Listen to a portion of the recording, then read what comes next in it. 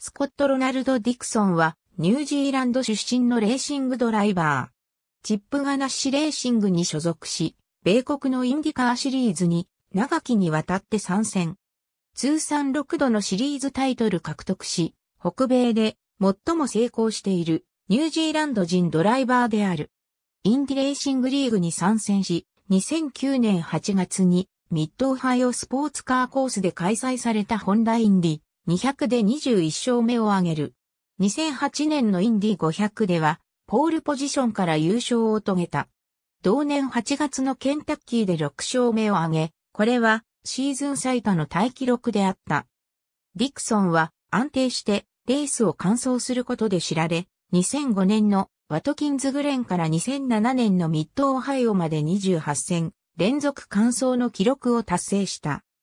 彼はまた90戦のうち48回表彰台に上り、その勝率はフルタイム参戦する R ドライバーの中で最高である。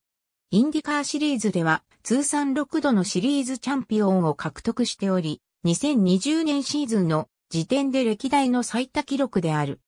表彰も数多く、ジム・クラークトロフィーを3回、ブルース・マクラーレントロフィーを2回受賞している。2012年にはニュージーランドメリット勲章を受賞した。ディクソンはオーストラリアのブリスベンでニュージーランド人のロン及びグレニス・ディクソン夫妻の間に生まれた。両親は共にダートレーサーであった。一家はディクソンが幼少時にオークランドに戻った。ディクソンは7歳でカートレースを始め、13歳でレースのライセンスを獲得して世間の注目を集めた。ニュージーランドでは16歳になるまで路上の運転免許を取得できなかった。ディクソンはプケコヘパークレースウェイで行われた日産、セントラによるワンメイクレースで横転し、その様子が TV で放映されて全国から注目された。その後は参加したあらゆるシリーズで勝利を挙げていった。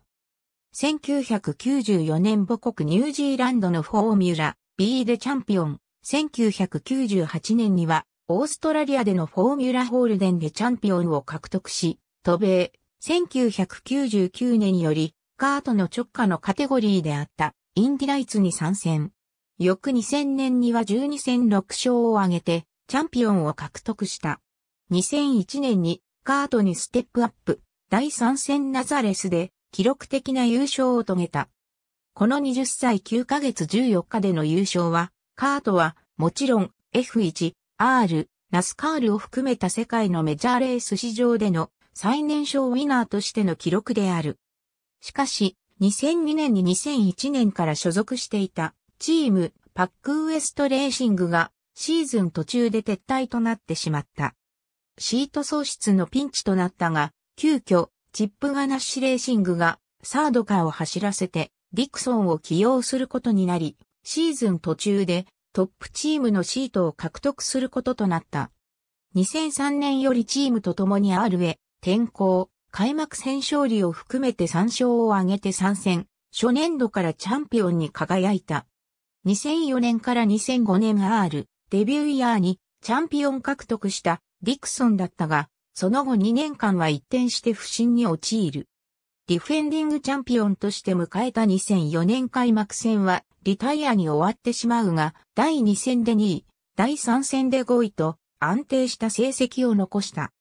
ここから本領発揮と思われたが、その後は一度もトップ5フィニッシュできず、結局この年は一勝もできず、第2戦での2位がベストリザルトとなった。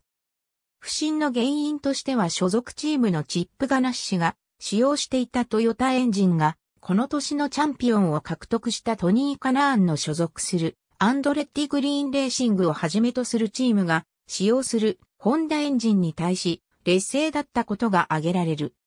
事実、前年ディクソンとチャンピオンを争い同じトヨタエンジンを使用するチームペンスキーもこの年は2勝しか挙げられずトヨタユーザーはすべて苦戦は必死だった。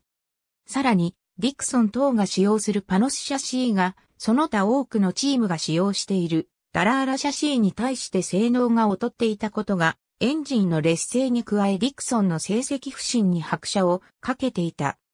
翌2005年も第15戦までは一度もトップ5フィニッシュできず、チームメイトも次々変わるというチーム内が混乱していた中で、第16戦のワットキンスグレンで2年ぶりの優勝を成し遂げ、元チャンピオンの貫禄を見せた。